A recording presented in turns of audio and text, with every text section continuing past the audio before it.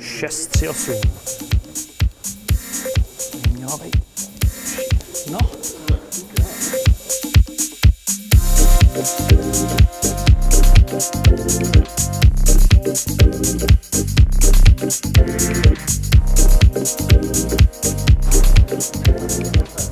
Povídejte, pánové. Letošním workem jsme chtěli opepřit něčím novým, něčím zajímavým, takže jsme se rozhodli, že uděláme šest případových studií a šest workshopů. To znamená, že letos poprvé zkoušíme nějaký takový nový koncept, jak se ty workshopy a případovky uchytnou. Já jsem semka přišel tak jako odpočinout od počítače, ale to je tak jako příjemná skupina lidí, kteří se zajímají o stejný obor jako já. Jsem viděl, jak super a těším se teďka na ty, na ty Advanced Custom Fieldy, tam jdeme na workshop. Workshopy jsme rozdělili na dvě části. Uživatelský byly workshopy na jak nainstalovat WordPress, WordPress pro začátečníky, anebo například jak z WordPressu udělat e-shop.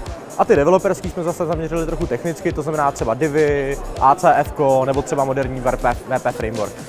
I'm a developer. Uh, and currently, I'm working uh, with uh, different different kinds of websites. You know, from eShop to uh, a movie database, or uh, just inform, informative website. I have a lot of new contacts and uh, new leads for uh, business opportunities, you know, and I learn a lot of stuff actually. Tak jsme úplně žádný obecný koncept neudělali a to z toho důvodu, že nejsme WordCamp 2018 organizovali, tak jsme udělali takový maličký průzkum, kdy jsme všem lidem, kteří byli na WordCampu, rozdali dotazník, jaký přednášky a jaký témata by chtěli slyšet. A přesně z těch témat jsme sestavili. Třeba, jak se starat o běžící WordPress. Mysleli jsme si, že to je relativně jednoduchá záležitost, ale zjistili jsme, že s tím mají spousta nových lidí v starosti. Eh, potom jsme například udělali GDPR. GDPR nějakým způsobem navazuje na úpravu, kterou tady máme od roku 2000. V podstatě jenom opakuje to tež, že je potřeba informovat lidi o tom, jaké osobní údaje zpracováváme a proč.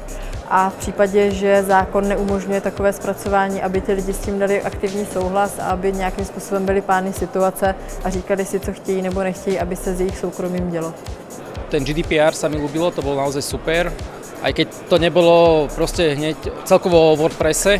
Teraz pôjde nejaká prednáška Gutenberg, pravdepodobne nejaká taká budúcnosť WordPressu, takže to je, to je celkom zaujímavé pre mňa. Rozhodně to lze nazvat tak, že WordPress prochází právě teď velmi zásadní změnou.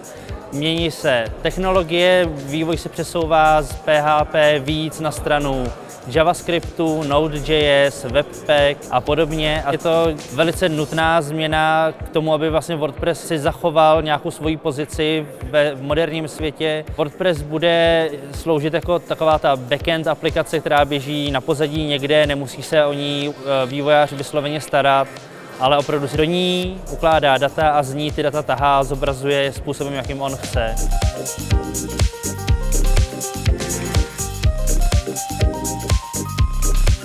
Jádro komunity WordPressu jako takový tvoří relativně malá hrska lidí, myslím si, že kolem 10-12.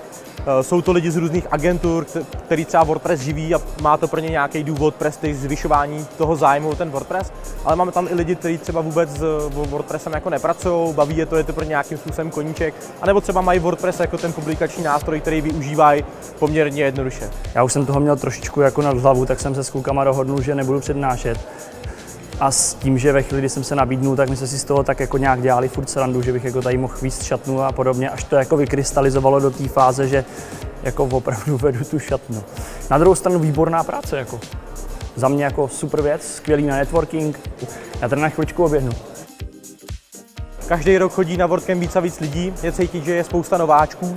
Máme pořád velký zájem dobrovolníků, kteří nám tady s tou akcí konkrétně na místě chtějí pomoct.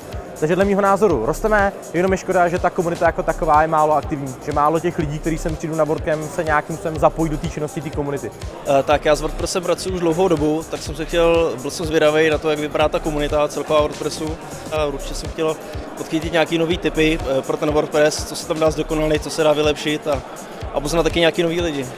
Zítra se pořádá samozřejmě tradiční Contributors Day, kdy vlastně budeme se snažit právě těm lidem, kteří by do té komunity chtěli začít přispívat, tak jak, jak překlady, jaká je práce, aby ten WordPress v Česku rost a byl zajímavější. My doufám, že i to přinese nějaký nový a svěží vítr do té práce, kterou před sebou máme. No, no, no, no. Kde jsem to skončil?